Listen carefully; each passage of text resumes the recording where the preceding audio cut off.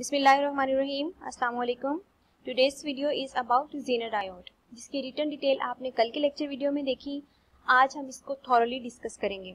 लेकिन इसको डिस्कस करने से पहले here are some terms you must be familiar with you must know that what diode is और it is used for you must know about PN junction, about depletion region, about potential barrier, and most importantly about breakdown voltage and avalanche effect. These all terms are most important to understand if you are going to understand Zener diode. Okay, now let's start. Here is the written lecture from yesterday's video.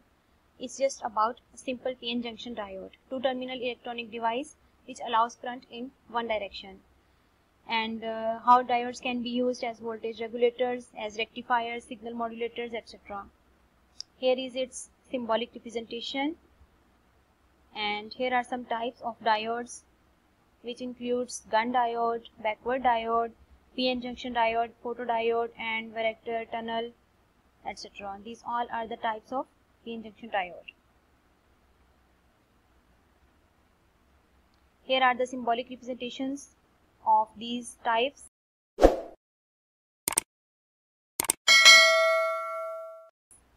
Here comes the Zener diode what Zener diode is and how it's different from a regular PN junction diode. Here is the answer. Zener diode is silicon semiconductor device that allows current to flow in two directions. And this is the main difference between a Zener diode and a regular PN junction diode. A regular PN junction diode allows the flow of current only in one direction, but Zener diode allows the flow of current in two directions either forward or reverse direction. This is the main difference between a Zener diode and a regular PN junction diode. It's the most important part. Here are the details about functioning and fabrication of Zener diodes. How Zener diodes work and what speciality they have कि उनको regular P N junction diode से better consider किया जाता है Let's elaborate its functioning with the circuit diagram. Here is a regular PN junction diode which is connected with the battery in reverse bias. Its N side is connected with the positive terminal of battery and its P side is connected with the negative terminal of battery. And here is a Zener diode. It's almost same as the regular PN junction diode. It is connected with the battery in uh, reverse bias. Here you can see potential difference. Here you can see depletion region and electric field almost same as in the PN junction diode. PN junction diode and this Zener diode, they are almost same. They work almost same, but with a little difference. Zener diode is actually a regular PN junction diode, but with a speciality. और इसकी speciality है इसकी heavy doping due to this heavy doping Zener diode has a very thin depletion region. Here you can see its electric field and its potential difference. Zener diode के case में the concentration of these majority charge carriers is much higher than a regular PN junction diode. Same in the case of PN junction diode. The electric field of this Zener diode is much higher than the PN junction diode due to this th thin depletion region. They almost have same potential difference, but we have an equation अगर किसी field में दो points के दरमियान distance हमारे पास D और उसका potential difference V हो तो electric field V by D so according to this equation here we have lower value of d. Comparatively, here we have greater value of d. Potential difference same है. D की value यहाँ पर ज़्यादा है so electric field इस case में ज़्यादा week होगा और जीना डायोड के केस में there is a much stronger electric field So the point is, what is the quality of Zener diode that it's considered better than a PN junction diode? एक तो ये कि PN junction diode unidirectional है और Zener diode two directional है.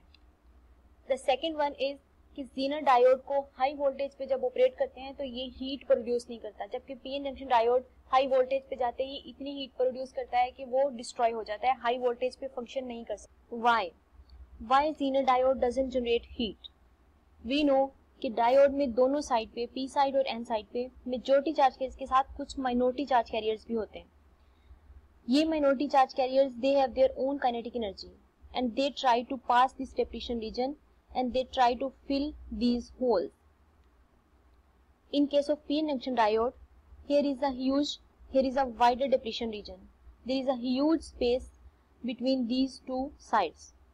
So these minority charge carrier can't easily pass this depletion region so यहाँ पर ये कोलियन करते हैं। यहाँ पर हैवी कोलियन की वजह से हीट जनरेट होती है। सो हाई वोल्टेज पे जब कोलियन काफ़ी ज़्यादा बढ़ जाती है तो ये हीट इतनी बढ़ जाती है कि ये डायोड वर्क नहीं कर सकता। हाई वोल्टेज पे ये डिस्ट्रॉय हो जाता है। But in case of Zener diode there is a very thin depression region there is a very little space between these two side and we also know कि Zener diode का electric field काफ़ी strong होता है। Due to this strong electric field when these charge carriers minority charge carriers come to move this strong electric field accelerate them to tunnel through this depletion region so on high voltages no collision no heat that's why Zener diode is most useful on high voltages Another speciality of zener diode is that it can produce a huge amount of current on providing a very little voltage. Let's have a look at this graph. It's a graph in reverse bias. It's a reverse voltage. It's a reverse current.